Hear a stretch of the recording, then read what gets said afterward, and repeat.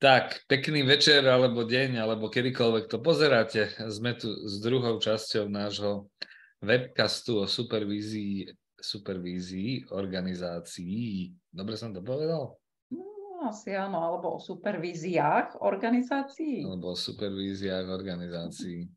Každopádne eh, venujeme sa so Zuzkou práve keďže momentálne sme v takom vzdelávaní, ktoré poskytujeme supervízorom ako nadstavové vzdelávanie a volá sa supervízia tímov a organizácií, tak sa venujeme téme supervízia organizácií a povedali sme si, že jednak pre našich frekventantov praktikujúcich supervízorov, kolegov, kolegyne, ale aj pre, eh, pre ľudí, ktorí proste majú záujem o túto tému. Urobíme takúto trojsériu no, webcastov, kde sa my dva trochu rozprávame a trochu aj zhrňame takéto naše poznanie alebo aj to, čím sme my inšpirovaní v tejto téme. Takže ideme o kúsok e, ďalej.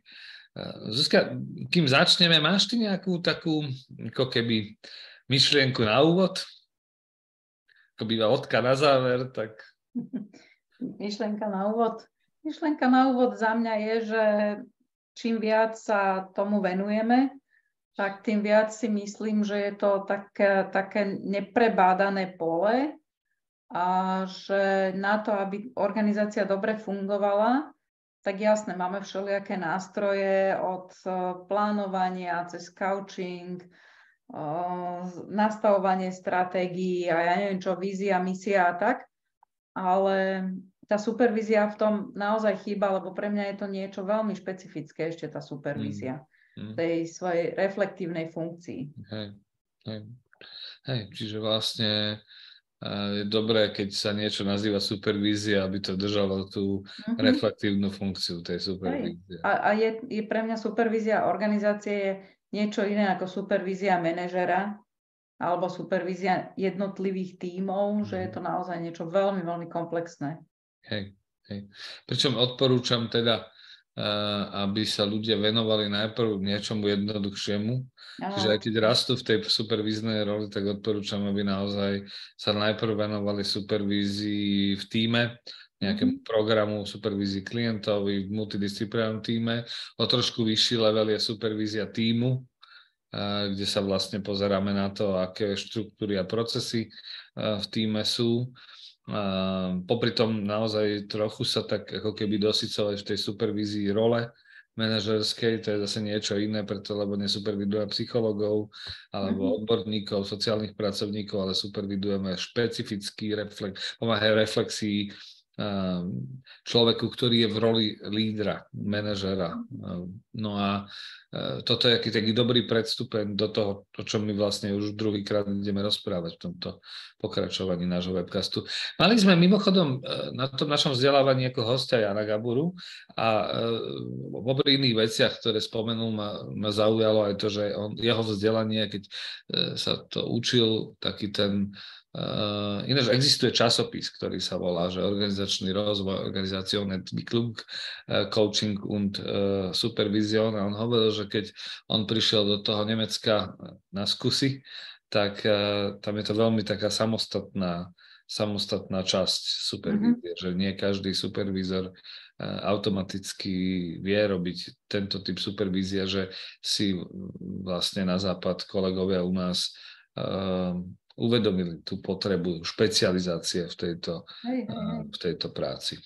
A tak, ako som ja hovorila aj na výcviku, že mne sa zdá, že okrem nejakých facilitačných zručností, supervíznych zručností, že naozaj musí mať ten človek aj istý typ myslenia rozvinutý, taký ten mm. štruktúrálny a mm.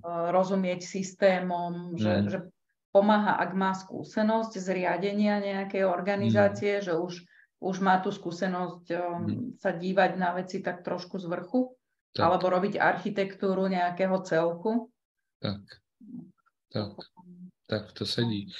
To sedí. Um, ešte, ešte jedna vec tomu ma napadá a to je, že, že možno sa vrátime aj k tomu, my sme vytvorili také špecifické kompetencie tímového supervízora, supervízora, ktorý superviduje týmy, takže možno časom e, urobíme nejaké, nie pokračovanie supervízie organizácie, ale nejaký špecializovaný webcast práve na e, supervíziu tí, tímov, lebo mm-hmm. to môže byť špecificky pri multidisciplinárnych tímoch veľmi dôležité pre ľudí, ktorí aj. s tým pracujú.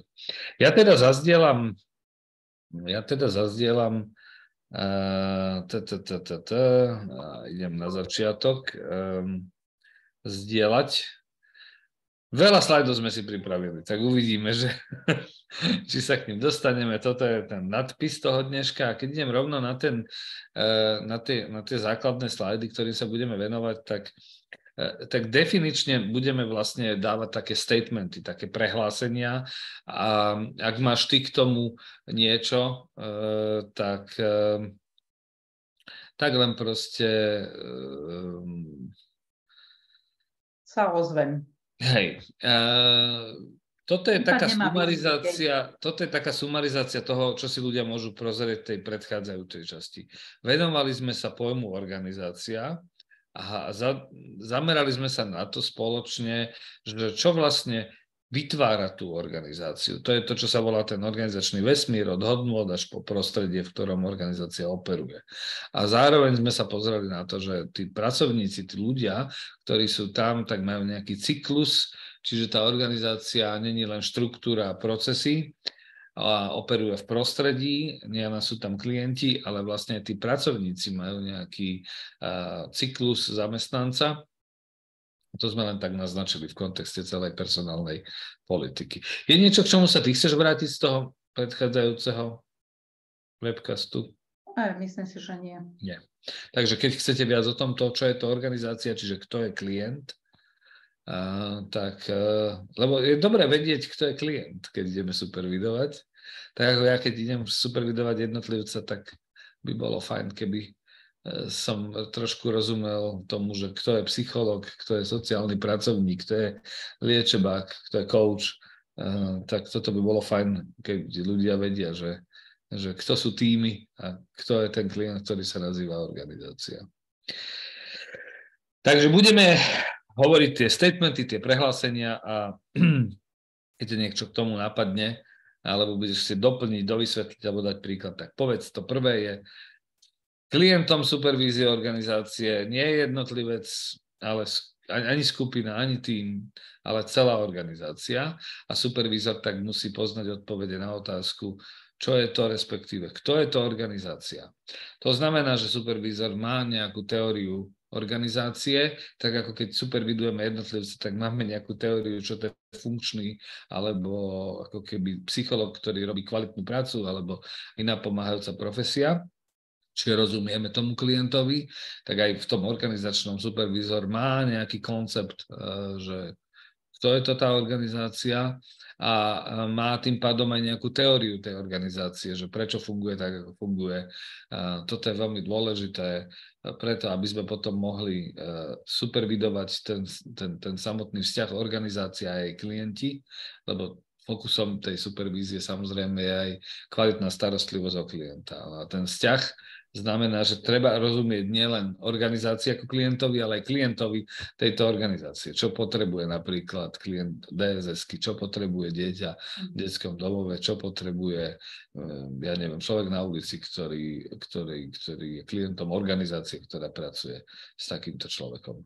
Keď hovoríš, že má uchopenú teóriu organizácie, tak mm-hmm. ľudia sa môžu zlaknúť pri tomto vyjadrení, mm-hmm. že majú mať naštudované nejaké hrubé knihy o tom, čo sú to organizácie, mm-hmm. ako fungujú a v zásade, tak ako, ja neviem, máš, máš psychodynamickú teóriu osobnosti, mm-hmm. že by mhm. mali toto všetko vedieť, nie, niečo o nejakých organizáciách, mm-hmm. ale keď teraz o tom hovoríš, tak to je vlastne niečo, že majú, majú vedieť premýšľať o tej organizácií a majú si vedieť urobiť e, obraz o tom, kto tá organizácia je, ako funguje a prečo tak funguje, aké sú v nej procesy, tak si to myslel? Áno, áno ale ináč ne, nebola si ďaleko ani v tom prvom, že, že ja si naozaj myslím, že, že, že je, ja rozumiem, že aj mnohí supervízori uh, ako keby aj v tej práci s týmom nerozumejú, čo je to tým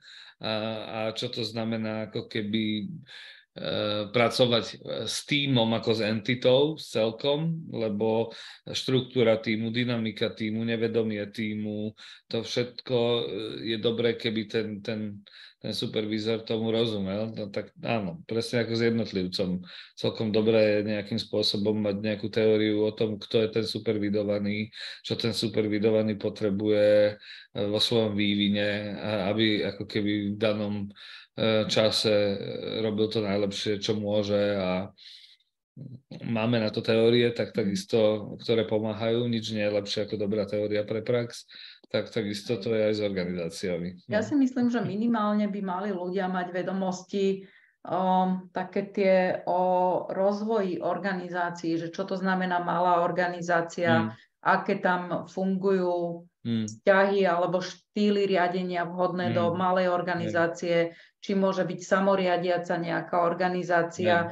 Že, že to, toto si myslím, že tieto teórie by mali ľudia ovládať, keď idú supervidovať organizáciu ja verím, že sa to učia. My na sociálnej práci v 90. rokoch sme sa samozrejme toto učili a vyšla aj taká e, kniha e, kedysi v PDCS a doteraz je voľne dostupná. Volá sa Čítanka pre neziskové organizácie, kde sa mhm. práve týmito základnými konceptami organizácie, organizačného rozvoja, strategického plánovania týmom vlastne e, tí autory venujú, autorky. Hej, dá sa to stiahnuť na stránke PDCS. Mm-hmm. Takže Organizácia má svoje súčasti, tie sú prepojené a môžu byť ľudské, napríklad jednotlivci, skupiny, týmy, oddelenia, ale aj procesuálne, sociotechnické. A to sú napríklad výstupy, postupy, procesy, artefakty v zmysle ako keby nejakých ako budov alebo priestorov um, materiálno-technického zabezpečenia. A zároveň ale tá organizácia je e, nielen to, čo je ako keby reálne uchopené, alebo na papieri videné, alebo videné v tom výkone vo výstupe, tým, čo tí ľudia robia, ale organizáciu vytvára aj taký konštrukt, ktorý sa volá, že organizácia zmysly. To znamená to, ako ja prežívam e, organizáciu, to, ako ja sa mám, moje imago e, organizácie, moje fantázie, moje emócie, keď vstupujem, alebo ešte vôbec pred vstupom do organizácie, mm. tak to všetko vlastne vytvára a sa spolu podiela na tom, ako ja interagujem s druhými ľuďmi. Čiže nielen moja ako keby realita vonkajšia, ale aj moja vnútorná reakcia, reakcia, ale e, prežívanie formuje to, čo je tá organizácia, ako tá organizácia vyzerá. Jasné, lebo nereagujeme obvykle na základe faktov, ale na základe toho, ako my tým faktom rozumieme, ja. ako sa v nich cítime. Hej, hej ten, ten, ten koncept organizácie zmysly vám tu aj prinášame na takých dvoch definíciách. Oni sú, môžete si ich prečítať a ja sa tu len chcem naozaj, ako keby poviem to cez príklad, že keď sa my voláme Coaching Plus, tak, eh, tak existuje moje Coaching Plus a ja by som ho pravdepodobne nakreslil úplne inak ako tvoje Coaching Plus eh, a eh, ako Ivanové Coaching Plus. Mhm. pravdepodobne, mm-hmm. a úplne inak ako napríklad našej eh, kolegyni eh, Zuzky.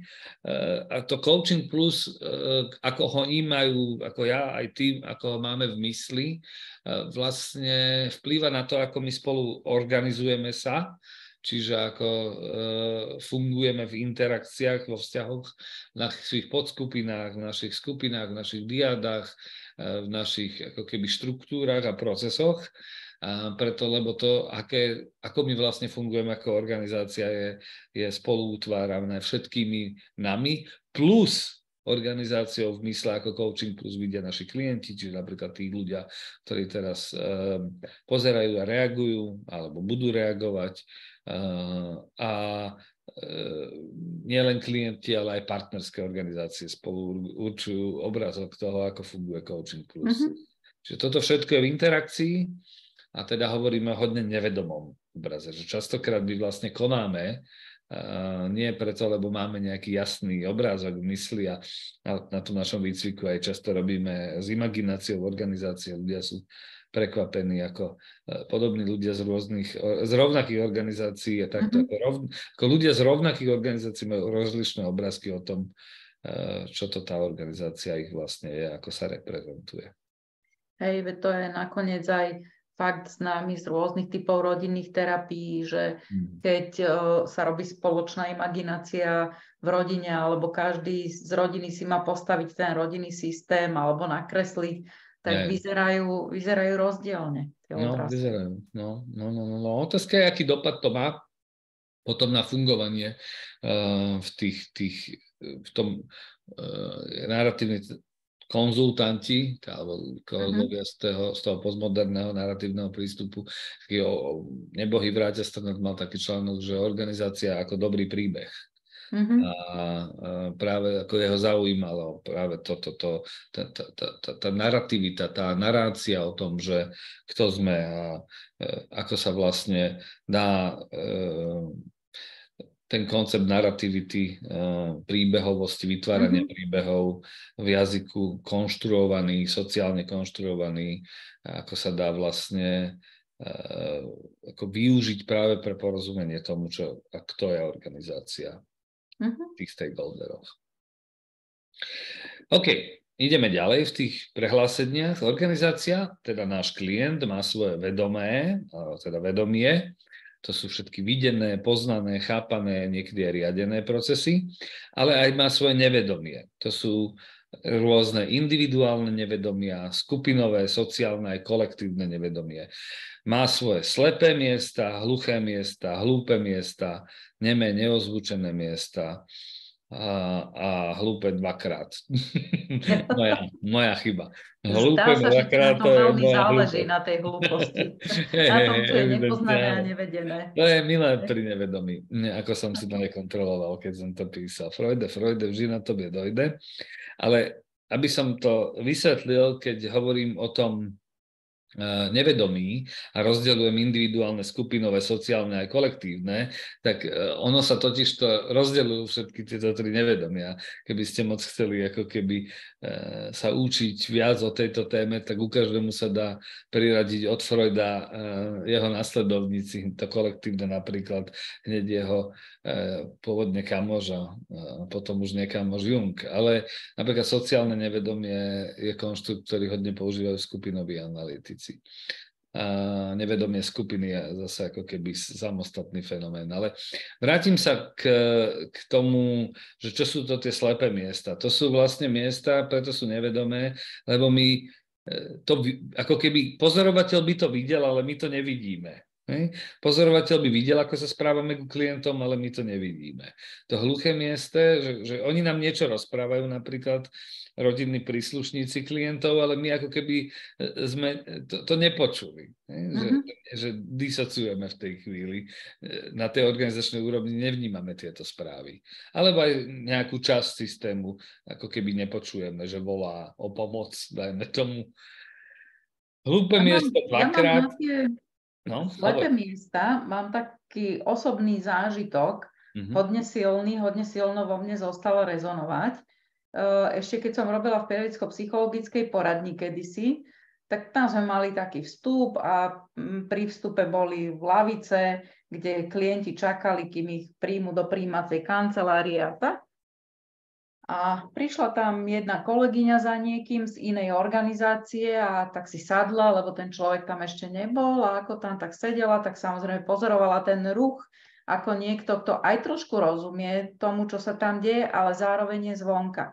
Mm-hmm. A ona mi potom hovorila, že, že Suzi, že ale to je strašné, lebo každý, kto išiel okolo, že nikto sa na mňa nepozrel, nikto sa na mňa neusmial a nikto ma nepozdravil. Mm-hmm. Mm-hmm. A je pravda, že v tom ruchu, ako chodíš po, po tých chodbách, tak si to neuvedomíš, že vlastne tam sedia nejakí ľudia, máš to v hlave, že tak nečaká na mňa, no ale mm-hmm z hľadiska toho, že organizácia má nejaké meno a mm-hmm. nejako pôsobí, tak každý človek by sa mm. mal tomu cudziemu, kto sedí mm. na tej lavici, pozdraviť. Nie, určite. Určite. A um, to je veľmi dobrý príklad, to je jedno analogicky v nemocnici alebo na nejakých oddeleniach. Keby. A veľmi ako keby trefná poznámka, lebo vy sami pravdepodobne ste si v tej chvíli o sebe nemysleli, že ste, e, skôr ste si naopak mysleli, že ste proklientská organizácia. Áno, áno, a že sme takí vľudní a milí hej, hej, že ste vľudní, milí a chápaví. Hej, hej, hej. hej. OK, to není, akože no blame, no shame, neobvinujeme na supervízii nikoho, ani nezahambujeme, ale ako keby zvyšujeme uvedomenie. Hej. Tie hlúpe miesta uh, sú vlastne uh, ako keby časti alebo procesy alebo kvalita, o ktorej nevieme. Lebo niekedy naozaj potrebujeme niekoho zvonku, aby nám zvýšil povedomie o tom, či už minule sme hovorili o nejakom benchmarku iných organizácií, alebo vlastne, že čo to znamená kvalitná práca, podľa akých kritérií. Takže niekedy naozaj e, napríklad pri kvalite by sme mohli hovoriť o hlúpých miestach, nevedomých alebo neriadených. Že toto mm-hmm. je mhm. vlastne niečo, čo sa tu deje, ale nie je to e, systematicky plánované, organizované, koordinované a zároveň tým pádom nás to môže valcovať, lebo nemáme to uvedomenie toho, e, aj keď to máme, ale nemáme uvedomenie, ako s tým zaobchádzať alebo riadiť to. To sa, dá týka, to sa môže týkať rôznych aspektov, nielen kvality a riadenia, ale ešte aj bez iných viest e, v organizácii, vzťahov alebo štruktúr v tom organizačnom vesmíre, ako sme minule hovorili, ktoré sú nepoznané. Toto všetko je podmienené alebo determinované skúsenosťou a históriou, ja už som spomenul tú narrativitu, čiže príbehmi alebo aj traumami, a teda aj jednotlivcov, ale traumy môžu mať aj týmy alebo celé, celé systémy, ktoré tam v tej organizácii sú, subsystémy. A zároveň uh, aj takým ako keby príbehy a histórie role. My často ro- rozlišujeme rolovú biografiu a rolovú históriu a pri rolovej histórii hovoríme o tom, že riaditeľ tejto organizácie nie je len ten, ktorý tu teraz, ale aj ten, ktorý bol predtým. A ten predtým predtým a to všetko vlastne ovplyvňuje um, to, ako vyzerá súčasné riadenie, napríklad tá rolová história hodne uchopuje e, teda dokonca, učí, ako vyzerá tá rola. Dokonca celé systémy môžu byť traumatizované. Nakoniec poznáme niekoľko systémov, ktoré si viackrát prešli nejakou transformáciou, ktorá nebola dobre pripravená, nebola dobre zreflektovaná a znovu idú do nejakej transformácie a, a tie, ten systém je otrasený tým, že on už nemôže byť plne funkčný a, a nejde len o tých ľudí, že im to lezie na nervy, no, ale myslím si, že tie procesy, tie systémové sú tým ohrozené. Hej, hej. Často tam pridpo, uh, veľmi prítomná v takýchto organizáciách, ktoré prešli rôznymi traumami, trauma organizácií, tak, uh, tak je tam často prítomná ako keby dezilúzia, beznádej, bezmoc uh, a veľa neistoty. Hej. Ako symptomatológia na emočnej úrovni. No, e, toto všetko, čo sme doteraz rozprávali, čiže aj to, ten, ten organizácia v mysle, celé tie štruktúry a dynamika z toho, čo sme predtým rozprávali v časti 1, ale zároveň aj toto nevedomie na tej kolektívnej, na tej individuálnej rovine, e, to všetko vlastne vytvára akýsi charakter organizácie, niekto by povedal firemnú kultúru, Čiže tá firemná kultúra, o ktorej sa tak často rozpráva, nie len o tom, čo máme opäť vedomé, ale aj čo nemáme uvedomené, ale sme takí, alebo sme takými ako organizácia. A posledný statement, organizácia tak časti sa môže rozvíjať a môže byť v rozvoji zaseknutá, napríklad tej traume. A v takomto prípade sa môže buď podporiť, posilniť, keď je, hovoríme o rozvoji, alebo teda keď je veľmi zaseknutá tak eh, liečiť, lebo už potrebuje niečo ako liečbu organizačnú. Keďže transakční analytici hovoria, že organizácia má svoj scenár, ten je nevedomý, uh, tak, uh, tak ako jednotlivec má scenár, ktorý sa posilňuje, mm-hmm. tak liečba takéhoto scenáru uh, už nie je len o nejakej rozvoji, ale naozaj o porozumení napríklad toho, ako tá história a tá trauma a traumy v tej organizácii vplývajú na to, ako ten systém vyzerá teraz alebo operuje. Ako celé. Ja som zažila niekoľko organizácií, niekedy ako členka organizácie, niekedy ako niekto, kto im pomáhal práve prísť na to, že kde je ten zásek, v takom bode rastu, kedy sa mm-hmm. z mhm. takej tej, ako keby poviem to tak, že malej rodinnej firmy, mm-hmm. ak by som to mala na, na tú firemnú kultúru previesť, sa mhm. stávali mm-hmm. už organizáciou s nejakými štruktúrami riadiacimi a, a vlastne ľudia sa z rodinných príslušníkov, tak povediať, stávali zamestnancami. No jasno, jasno. A to, to veľmi mení celú ne. tú organizáciu. Ne. A práve tie nevedomé procesy to tam ne. mení veľmi ne. výrazne, o ne. ktorých sa nezvykne ne. hovoriť. No aj na toto, o čom hovoríš, že existuje teória rozvoja organizácií a teda toto, čo opisuješ, sa volá kríza vzrastu. A, nie vzrastu, ale z, z rastu. a chcem vám povedať, že, že ma to tak znova utvrdzuje v tom, že to, o čom sa teraz rozprávame, tak sa psychológia jednotlivca študuje dlho, dlho kým mm-hmm. človek mm-hmm. porozumie tomu celému, že napríklad vyvinovej psychológie jednotlivca, tak je celkom dobré, aby ľudia rozumeli napríklad pri rozvoji organizácií a raste organizácií, v živote organizácií eh, práve týmto krízam, o ktorých hovoríš. Čiže je to jedna z fundamentálnych častí teórie organizácie, že, že ako sa menia v čase a čo potrebujú v tých krízach samotné tie organizácie. Čo myslím, mimochodom, dobrý supervízor organizácie, ale aj konzultant nielen, že teoreticky rozumie tým krízam, ale aj vie, čo v tých jednotlivých fázach rozvoja organizácie, organizácie ako také potrebujú. Vie mm-hmm. byť inšpiráciou, tým pádom aj oporou tým ľuďom, ktorí tomu musia čeliť. Pokiaľ ide o ďalšie východiska, tak um, to, to rozvoj alebo to liečenie sa môže diať na rôznych úrovniach. My sme e, veľa, aj sa venujeme v coaching plus práci s jednotlivcami alebo s týmami, ale teda ako hovoríme pri supervízii organizácie je to, alebo pri organizačnom poradenstve, akokoľvek to nazveme, je to o celoorganizačnom rozvoji.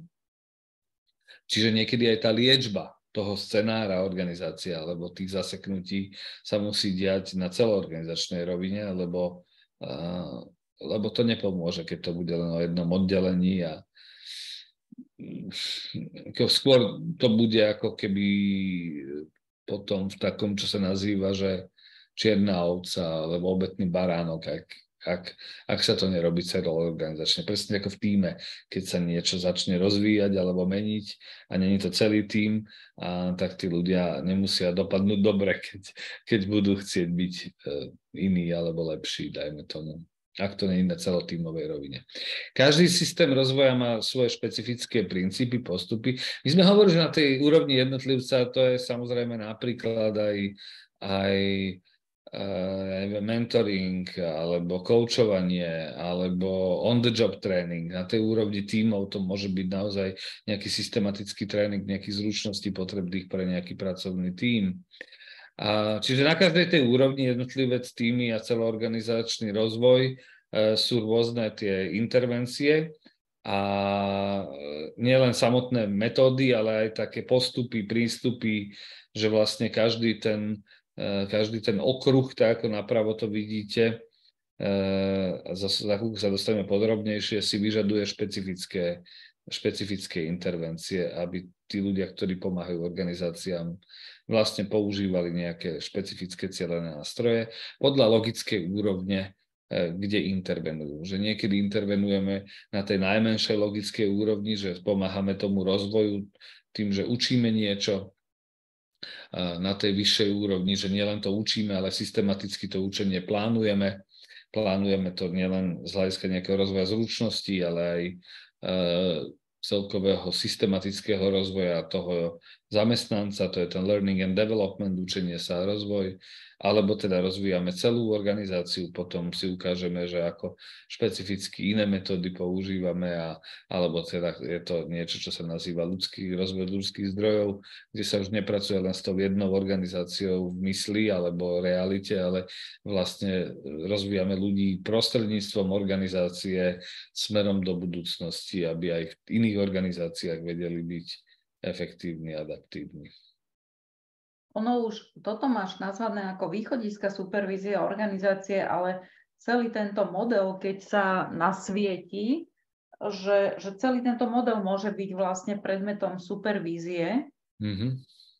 lebo niekedy naozaj, až keď sa na to pozrú ľudia takto, tak im, tak im docvakne, že ako nezmyselne mrhajú prostriedkami, energiou na, na také všelijaké dielčie vzdelávania, že zobkajú tu, zobkajú tam, ale hm. nie je to súčasťou toho celého rozvoja. No je to tak, je to tak. Je to tak. Keď prejdeme tie úrovne, tak ten tréning, to je vlastne ten, ten v, tom, eh, v tých sústredných kružniciach je to takéto naj, najmenšia tá jednotka, eh, je veľmi relatívne ohraničený. On by mal byť dobre naplánovaný a v tej tretej časti sa tomu budeme venovať, že ako plánovať, identifikovať, analyzovať tréningové potreby, ako dizajnovať ten rozvojový program, ale len definične dneska, že tréning je Cieľom je naučiť nejaké vedomosti, alebo naučiť ľudí nejaké zručnosti, alebo ako keby reflektovať potreby na danej pracovnej pozícii a manažovať tento proces, tak aby sa tie veci potom aplikovali v praxi, ten transfer učenia. A tu ak teda sa organizácia rozvíja na tejto úrovni, respektíve ak e, to, tie riešenia sa hľadajú na tejto úrovni pre ten systém, tak je dobré vedieť si to zadefinovať. Preto my budeme v tej tretej časti hovoriť o, o tom, ako robiť identifikáciu, analýzu tréningových rozvojových potrieb. A už tu môže byť supervízia ako keby veľmi užitočná. Buď ten supervízor superviduje toho lektora, toho trénera, ktorý to mm. učí, lebo tam je veľa čo supervidovať, že hej, reflexia po akcii najčastejšie. Alebo môžeme supervidovať tých e, ľudí, to znamená v tej supervízii im pomáhať aplikovať ten transfer toho učenia do praxe, e, čiže pomáhať tým ľuďom v tom, aby mali priestor pre uvažovanie, ako benefitujú z toho tréningu ich klienti v konečnom dôsledku. Alebo môžeme už pozrieť sa na to, o čom budeme hovoriť v tej tretej časti, že supervízia je využitá na supervidovanie celého toho rozvojového tréningového cyklu. Či je dobre urobená analýza tréningových potrieb, či to sedí smerom ku klientom, či sú nadizajnované tie tréningové veci takým spôsobom, ako by mali. A toto im ten supervízor na rôznych úrovniach pomáha potom reflektovať, ak teda superviduje sa v organizácii práve tento koncept tréningu a rozvoja. Hej, a že či vlastne to, čo ja chcem od toho pracovníka, či je dosiahnutelné tréningom. Tak. Niekedy, tak, niekedy tak. sa to tak zamení, že na miesto, kde v zásade chcem mať takého tvorivého, kreatívneho človeka, tak mm. ho zároveň zviažem nejakým tréningom, mm. lebo tréning je o tom, že ja viem, čo má robiť a naučím ho to. Áno. A, a zároveň aj niekto, kto ide do toho tréningu, tak by si mal byť vedomý, že možno, že toto sú zručnosti, ktoré naozaj musím prijať a nebudem veľmi tvorivo s nimi zaobchádzať. Hej. Napadá mi proces psychodiagnostiky napríklad, hej. Hej. v tom psychologickom poradenstve, no tak tam veľa tvorivo nena, nenapremýšľajú, tam je treba tréning a veľa hej. protokolov si nechať supervidovať. Mm-hmm. Sedí vec, sedí vec. A, ale aj tréning komunikačných zručností. Ak sa organizácia aj. rozhodne, že proste príjme napríklad e, pre terapiu ako koncept, potrebujete to. Um, tuto je vlastne tá, tá supervízia viac výcviková, čiže ako keď sa učíte v psychoterapii nejaký model, tak chodíte do výcvikovej supervízie, tak tá supervízia môže byť veľmi užitočná v tej organizácii pri e, reflexii toho, ako sa darí aplikovať nejaké mm-hmm. konkrétne, konkrétne stratégie. Pri, tej, e, pri tom učení sa, čiže keď hovoríme o tých ako keby úrovniach toho rozvoja, tak toto už je komplexnejšie že, že už to je learning and development. Už to je len tréning nejakých parciálnych skillov, ale že vlastne tie rozvojové aktivity už eh, ako keby sú obohatené o dobrú ako keby predtréningové veci, hej, workshopy, ktoré budú motiváciu, alebo uh, dizajnujú vlastne uh, toho toho, tú, tú individualitu v tej roli takým spôsobom, aby ten človek bol spokojný s tým, že do čoho ide, keď sa ide učiť niektoré veci. Po tréningu to je, že to je obohatené o mentoring, o koučovanie, o podporu v tímov. Čiže tam je to uh, veľa aj seba skúsenosť v tom učení. Je to veľa širší koncept ako len tréning a e, to, to miesto supervízie je, že buď sa supervidujú opäť, ako v tom slajde predtým sme hovorili, e, niektoré tie postupy a praktiky učenia, tak ako supervidujeme tréning, môžeme supervidovať neviem, koučovanie, ak sa v organizácii aplikuje, alebo môžeme e, supervidovať ja neviem, mentoring, ak sa aplikuje v organizácii, alebo potom môže byť uh, opäť uh, supervízia súčasťou toho, že reflektuje celkový ten proces learning and development. Či je dobre nadstavený, či, mhm. či sú využívané vhodné metódy, ako sa v tom ľudia majú. A opäť, aký dopad to má na klienta v zmysle uh, ako kvality vzťahu s tým, s tým človekom, ktorý sa v tomto procese učenia rozvíja a aplikuje tie veci vo vzťahu s klientmi v organizácii. Či naozaj ten proces učenia vedie k rozvoju toho pracovníka alebo toho týmu. Alebo či teda. Alebo hej. danej metódy. Hej, lebo, alebo danej metódy. To, to, to sa nemusí rozvíjať len ten pracovník, ale môže to byť nejaká inovatívna metóda, ktorá sa rozvíja tým učením nových ľudí alebo vôbec ľudí, ktorí ju majú používať a ovplyvňuje sa v tej inovatívnosti a v rozvoji. A že či vôbec áno, to má ten dopad na klienta, ktorý sme si slubovali na začiatku. Nie. Lebo tá supervízia primárne e, nie je len pre pracovníkov, ona je vlastne, ona vlastne chráni klienta a okrem toho, že chráni klienta, tak chráni e, aj profesiu a môže práve v tom bezpečnom prostredí ten človek reflektovať, pozerať sa z vrchu na to, ako to ide a či to ide. Hej. Pri tom organizačnom rozvoji to už není o tom, že sa rozvíjajú nejakí jednotlivci, alebo že by sa rozvíjali systematicky v nejakom procese kontinuálnom rôznymi metódami tí jednotlivci a rástli, ale že, že organizačný rozvoj je eh, level abstrakcie, že sa rozvíja celá organizácia. A dokonca budeme to o tom hovoriť, že niektorí hovoria, niektorí hovoria, že supervízia organizácie rovná sa organizačný rozvoj, ja to tak nemám, my sa potom pozrieme, že čo všetko to organizačný rozvoj znamená, ale aby som dokončil, organizačný rozvoj na rozdiel tých mm, tréningov alebo toho learning and development procesov je vlastne zameraný na rozvoj systému ako celku. Že sa pozeráme na organizáciu ako na nejakú entitu, ktorá sa v čase rozvíja a že ak dobre plánujeme tie intervencie, ktorými sa môže rozvíjať, ak dobre dizajnujeme tú štruktúru, ak posilňujeme dynamiku organizácie a jej procesy tak, aby, aby ako keby systematicky plánovanie eh, boli efektívnymi, tak to potom pomáha rastu, rastu eh, organizácie ako celku, ľudí v nej vrátane. Takže tá supervízia pri pri eh, organizačnom rozvoji je, že ak tam prichádzajú nejakí konzultanti zvonku, tak my vlastne tí organizační konzultanti, ktorí pomáhajú tej organizácii v organizačnom rozvoji ako systému, sú supervidovaní. To je jedna z línií.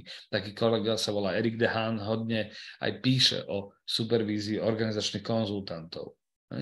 Ale my môžeme uh, zobrať to, že supervízia nemusí byť len, uh, len supervidovanie tých konzultantov, ktorí pomáhajú, ale aj tých celkových procesov. Čiže môžeme uh, zobrať potom aj supervíziu ako niečo, čo do, toho, do toho organizačného rozvoja vlastne je zasadené a je integrálnou súčasťou toho rozvoja v správnom čase používané, správnou, uh, správnymi supervíznymi metodami používané a pomáha tak vlastne supervízia samotnému organizačnému rozvoju, ako posúva sa tá organizácia niekam niekam. Hej, hej, aj prostredníctvom supervízie. Áno, tu je, tu je to podľa mňa veľmi dôležité, čo tam máš na slajde v závere, že ochrana profesí a klientov organizácie, že naozaj aj s dôrazom na, na tie profesie, lebo to už je o multidisciplinarite. Určite. A o tom, že aká rola je ktorej profesii a že profesie, a nielen teda ochrana tých profesí samotných, ale aby to, bolo, aby to bola ochrana klientov, tak ich vzájomného doplňania sa a napríklad takého, to znovu niekedy býva slepé miesto, že až, až po takom supervíznom nasviete, nasvietení zistia, že nejaká, nejaká profesia nám tam úplne chýba. No. Aby sme naozaj mohli sa o toho klienta postarať tak, ako treba. Hej. Nie. Nie. OK. Uh, je ešte vyššia miera abstrakcie a mne sa celkom páči uh, v tomto svete sa pozrieť na to, že život nestojí a nepadá na organizácii. A naša profesionalita nestojí a nepadá na organizácii jednej.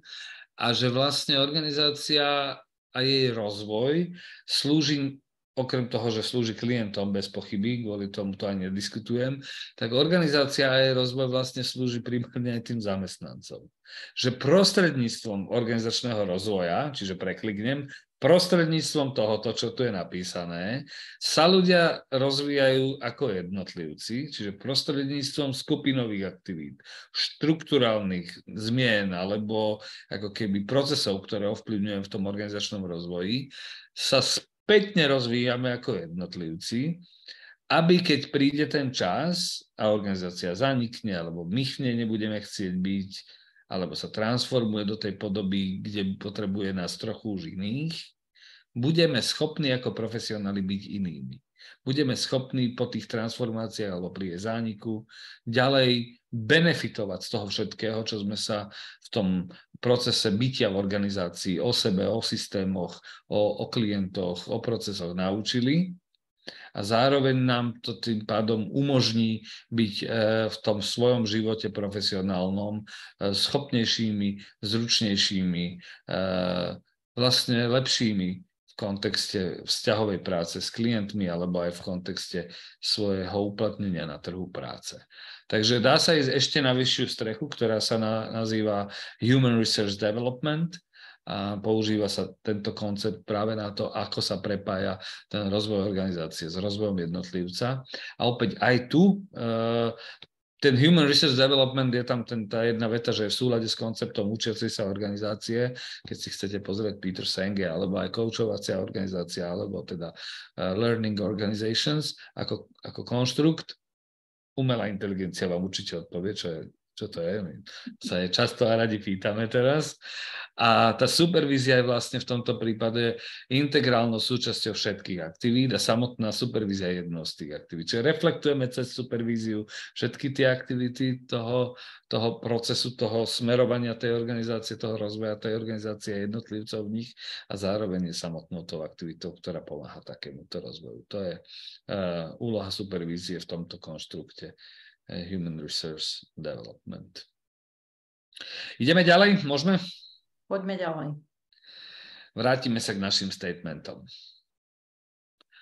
Ideme už teraz do tej praxe. No, na to, aby sme mohli tú organizáciu rozvíjať a prípadne liečiť, prípadne supervidovať, lebo tu chcem povedať, že organizácia sa nemusí rozvíjať len supervíziou. Presne tak ako jednotlivec sa nemusí rozvíjať len cez supervíziu. Bolo by divné, keby si ty ako odborníčka sa rozvíjala len cez supervíziu.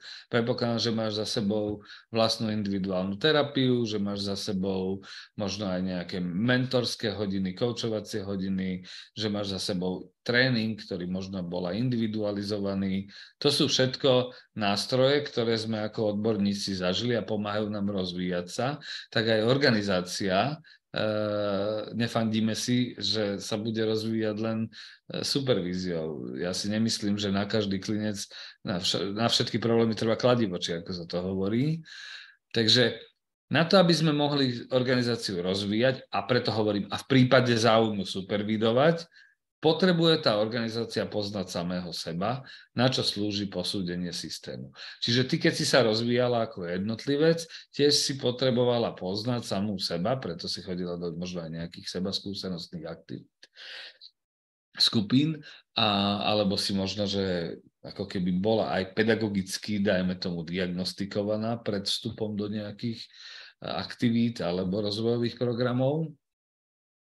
No a toto je to isté, to je tá metafora, že my vlastne musíme posúdiť tú organizáciu, aby sme tým kladivom vedeli potom eh, udrieť tam, kam treba, aby sme ho vedeli použiť správnym Hej. spôsobom. Však to nakoniec aj my dvaja často ako supervizory diskutujeme, že eh, v niektorých organizáciách, tímoch alebo u niektorých jednotlivcov my to tak veľmi zostručníme a povieme, že tu nie je čo supervidovať.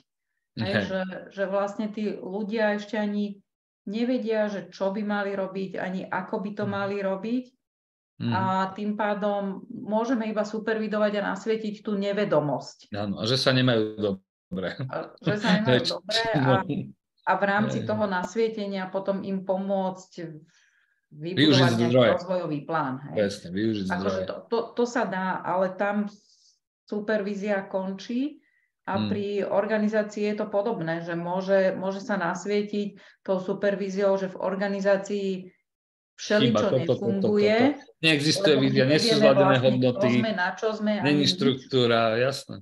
Ale hm. potom musí, potom presne musí, musí nastať nejaké iné nástroje, tam musia prísť ne. toho organizačného rozvoja. Ne.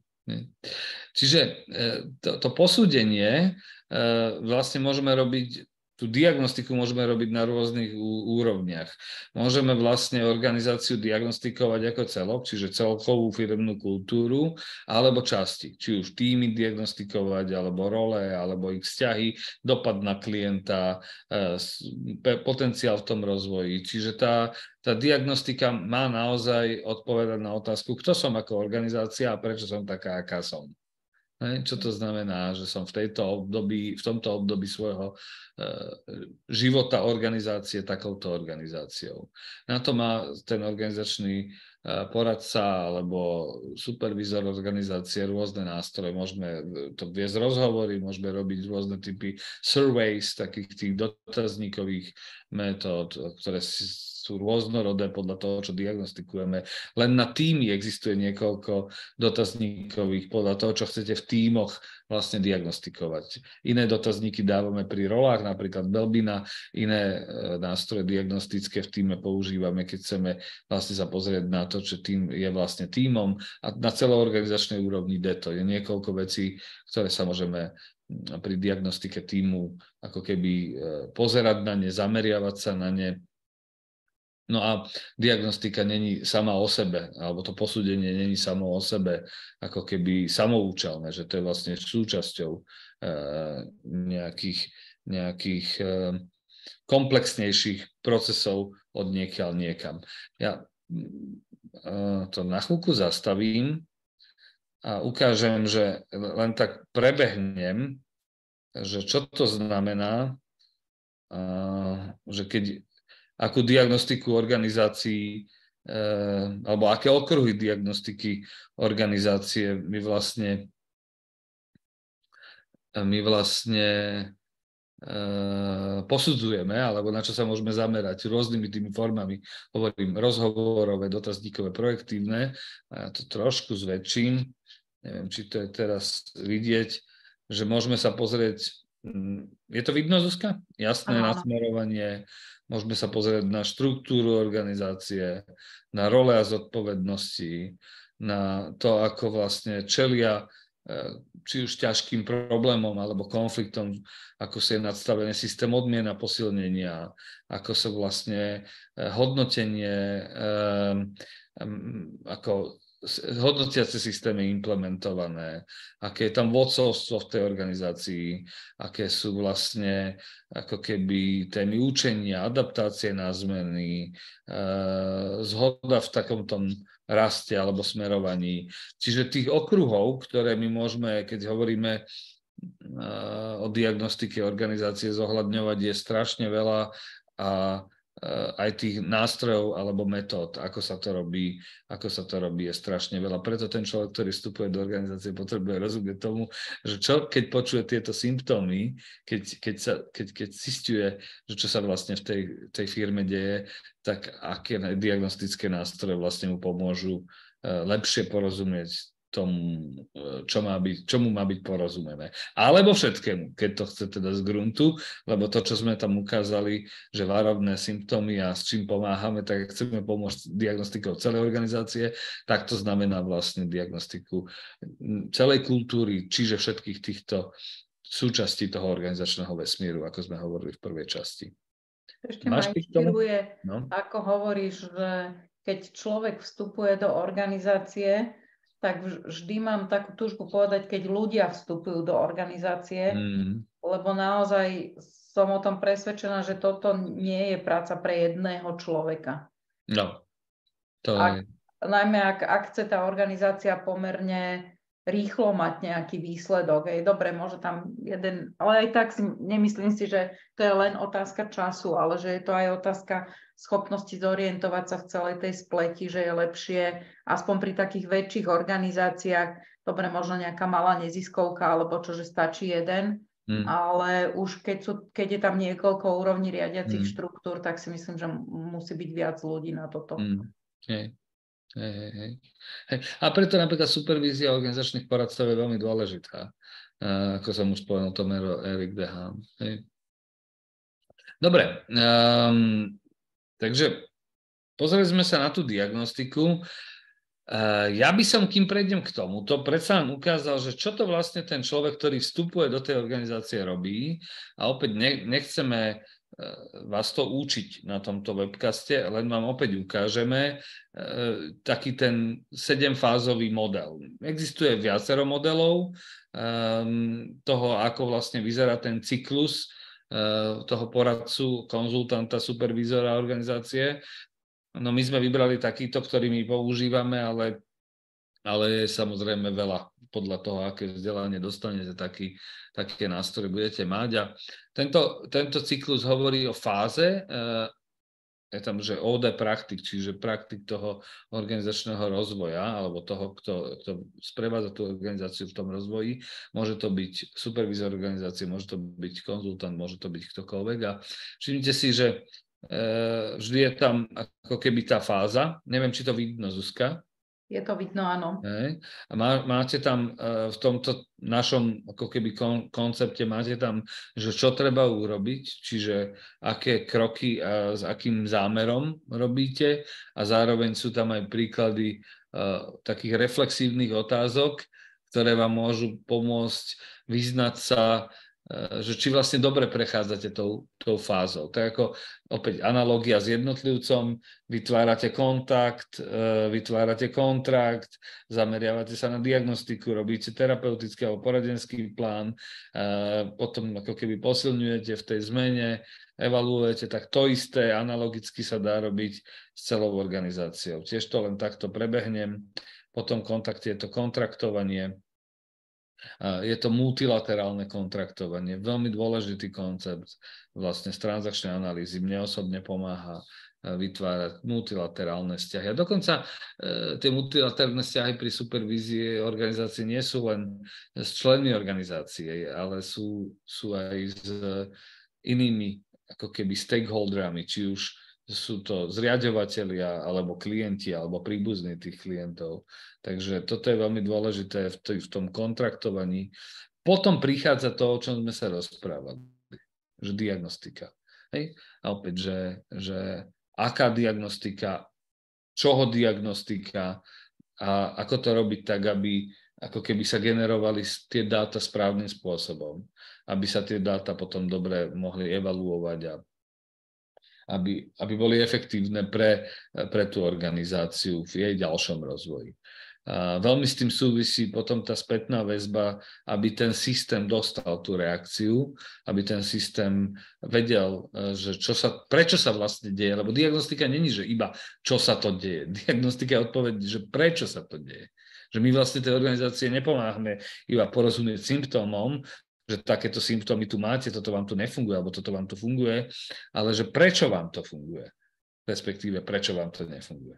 A je veľmi dôležité v tej diagnostickej fáze aj na tom našom vzdelávaní to veľa, no veľa. V rámci možností sa tomu venujeme a to je, že zamerajte sa nielen na dysfunkciu tej organizácie, ale aj na kapacity tej organizácie, uh, lebo tá organizácia má veľa kapacít. Keď by ste len svod analýzu eh, ako keby využívali, tak zistíte, koľko tých kapacít môže mať. A aj tie dysfunkčné veci v tej organizácie, organizácii môžu byť, eh, ak ja tomu hovorím opäť z toho narratívneho prístupu, absentujúce, ale implicitne prítomné. Ak ľudia sa stiažujú na niečo, tak majú pravdepodobne obrazok toho, čo by mohlo mať, eh, čo by mohlo byť inak či už pre nich, pre klientov, pre, pre zriadovateľov, pre príslušníkov. Ako náhle e, prejdú z tej fázy diagnostiky do toho, že sa to rozbalí, že čo sa v tej organizácii deje, tak si stojíme pred otázkou, čo ďalej. A to je ten koncept plánovania tej, tej, tých intervencií toho organizačného rozvoja. A tuto je to nazvané ako plánovanie zmeny. Opäť mnoho otázok, ktoré spolu v tej organizácii treba priniesť. No a samotná tá zmena potom prichádza v tom bode 6. Pričom, keď idem spätne, tak aj ten bod 5 už tam uvažujeme, či je vlastne supervízia organizácie indikovaná alebo nie. Lebo je možné, že není. A keď není, tak, tak e, sa treba pozrieť na to, že aké iné metódy organizačného rozvoja sú indikované, keď nie supervízia. Tá šestka to sú opäť, e, opäť tie samotné metódy, ktoré by mali byť e, plánované, ale nielen plánované, ale aj evaluované, upravované a samozrejme riadené. Posledná časť tohto sedemkrokového cyklu je vyhodnotenie, lebo vy vyhodnocujete vlastne celkový, celkový ten proces vrátanie implementácie napríklad supervízie, metód, postupov e, supervízie organizácie. Máš ty k tomuto organizačnému cyklu niečo? Hmm. Nie. To je tak stru, veľmi Pre, struč, Stručne to, čo sa dá učiť. Hej. Hej. Hej, hej. Myslím si, že, že my sme vlastne prebehli niečo, čo sa učí bežne 3 roky. Tak, ani nie je našim cieľom to naučiť, ale skôr informovať v tejto chvíli. Tak, tak. Pokiaľ ide o to, to, to, tú samotnú supervíziu organizácie, tak e, ja to teraz poviem tak natvrdo. Vy ste videli vlastne to organizačné poradenstvo, ako vyzerá, ten 7-krokový cyklus a opäť podľa toho, kde sa to učíte, podľa toho máte veľa iných ako keby možnosti, ako taký organizačný poradca vstupuje do organizácií a aké otázky si kladie, aké otázky, akými metodami pracuje. No ale supervízia organizácia je,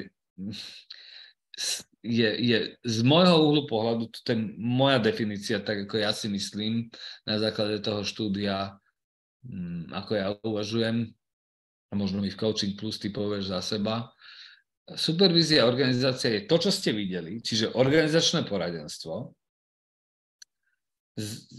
plus, ako je coaching plus, tak je organizačné poradenstvo plus zameranie sa na kvalitu interakcií s klientom. Presne tak ako bežná supervízia reflektuje dopad intervencií a kvalitu intervencií na klienta pre ochranu klienta Zároveň teda je to organizačné poradenstvo, ktoré je zamerané na etiku dobrej praxe a, a zároveň organizačné poradenstvo, ktoré má v merku e, tú ochranu pomáhajúcich profesí, čiže profesí, ktoré tam s tými e, klientami pracujú. E, zároveň teda to, toto všetko, čo som teraz povedal, tá supervízia organizácie, viac do nej v tretej časti, plus práca s emóciami a nevedomou dynamikou celých systémov a subsystémov v tom, v tom, v tom celom dynamickom prepojení organizácia a klient. Plus práca s inými stakeholdermi, reflexia toho, ako tie vplyvy z okolia, eh, rodinní príslušníci, zriadovateľia, legislatíva majú dopad na fungovanie tej organizácie. Neviem, toto je moja definícia, ako to vidíš ty. Vidím to veľmi podobne, však veľa o tom diskutujeme a, a vlastne rozvíjame to spoločne v nejakých diskusiách, tieto naše náhľady. A áno, ja, ja si naozaj myslím, že tá supervízia je nám, najmä reflexívna. Hej, že keď hovoríme o organizačnom rozvoji, tak pre mňa supervízia znamená šanca zastaviť sa, premýšľať nad tým, ako to teraz je, ako sme sa dostali do tohto bodu, čo vlastne sa tu všetko melie, to, čo hovoríš o všetkých vzťahoch, emóciách, že veci, o ktorých bežne nerozprávame, alebo nebýva celkom uh, zvykom, keď sa rozpráva o tom, či naša organizácia funguje alebo nefunguje, tak sa zvyčajne hovorí o tých viditeľných veciach, o nejakých tokoch informácií, o riadiacich štruktúrách, o odovzdávaní kompetencií, ale o tej obrovskej mase, čo je pod tým, a to sú tie emócie a vzťahy osobné medzi ľuďmi, nie vzťahy možno medzi profesiami myslím oficiálne, formálne, ale medzi jednotlivými ľuďmi, tak o tom sa málo kedy hovorí a tá supervízia je práve na to priestor. Hmm, hmm. Je to taký rozpor. Ja aj ty sme skôr za to, aby e, sme si tak ako keby odlišili iné formy organizačného rozvoja od supervízie organizácie, že supervízia organizácie po tej diagnostike, po tom dobro naplánovanom, že ako sa ide tá ako sa v tej organizácii ide ďalej postupovať, prichádza tá supervízia organizácie. Sú kolegovia, ktorí to majú, že organizačný rozvoj neziskových alebo pomáhajúcich organizácií rovná sa supervízia organizácie. Ja to teda, zdá sa, aj ty úplne tak nemáme, ale dávame to ako jedna z možností, mm-hmm. že celkový organizačný rozvoj, proces organizačného rozvoja by sa dal nazvať a niektorí kolegovia to tak majú ako supervízia organizácie. Ja si osobne myslím, že ten cyklus 7-krokový pozostáva z, zo šiestich úplne odlišných typov intervencií od kontaktu, kontraktovania, diagnostiky, to všetko není supervízia organizácie, potom prichádza supervízia organizácie, potom je tá evaluácia. Mm-hmm. Čiže supervízia organizácie je sada aktivít, procesov, postupov, metodík, ktoré v istej chvíli e, toho procesu organizačného konzultantstva v tom procese organizačného rozvoja môže byť nápomocná. Tak. Tiež si myslím, keď sme mali Jana ako hostia, tak to mm, ako keby chcem podčiarknúť, že na rozdiel od niektorých iných metód organizačného rozvoja supervízia organizácie je hierarchická, participatívna a aj keď to ide z hora dolu, tak je to naprieč organizáciou, že netýka sa len toho, že, že prídu konzultanti, povedia manažmentu, ako majú rozvíjať organizáciu a oni ju tak potom začnú rozvíjať. Že je to vlastne o tom, že prídu konzultanti a začnú pracovať v supervíznom móde Hej. Trojuholník supervízny, podpora, rozvoj, kontrola s celou organizáciou naprieč, čiže napríklad e, od upratovačky, a ktorá má čo povedať, aj školník má čo povedať mm. do mhm. toho, aká je kvalita dopadu intervencie organizácie na klienta. Mne sa zdá, že v tejto chvíli máme tak dobre uzavretý tento celok. Čo povieš? Veľmi súhlasím, veľmi súhlasím. Pred, prednešok to je tak, uh, také dobre kompaktné. Tak, tak, tak. Takže skončili sme tým, ako my chápeme supervíziu organizácie a v tej tretej časti nás čaká um, ešte raz sa pozrieme na to, ako zasadiť tú supervíziu organizácie do rôznych iných aktivít organizačného rozvoja a pozrieme sa na špecifika supervízie organizácie, ako to vyzerá v praxi. Dnes sme sa naozaj pozreli na to, eh, že, že, že už, už tu máme toho klienta, tú organizáciu, tak čo všetko sa s ňou dá robiť od, od, od eh, toho, že nejde len o tréning, eh, ide aj o celkový rozvoj, ide aj o celkový rozvoj organizácie a kde všade tá supervízia do toho môže byť v tom organizačnom cykle, teda to, to konzultantstvo zasadená. Takže prednešok takto. Tak. Majte sa pekne a tešíme Majte sa. sa pekne a užite si čokoľvek, eh, čo si ešte dokážete po tomto náklade užiť.